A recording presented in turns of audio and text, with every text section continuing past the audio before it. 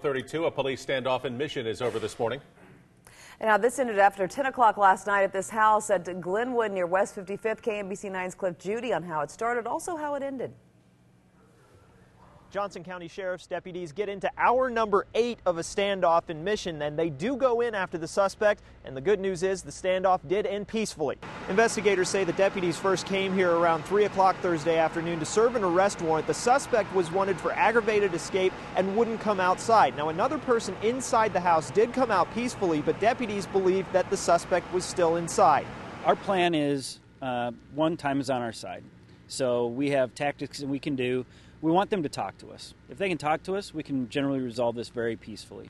Um, if that doesn't work, then we have to keep stepping it up until either they come out or in this case, we had to go in. And deputies did say that when the SWAT team went in after the suspect, the suspect was found in a basement, did not put up any kind of a fight, so there were no injuries on this scene. For First News, Cliff Judy, KMBC 9 News. A Roland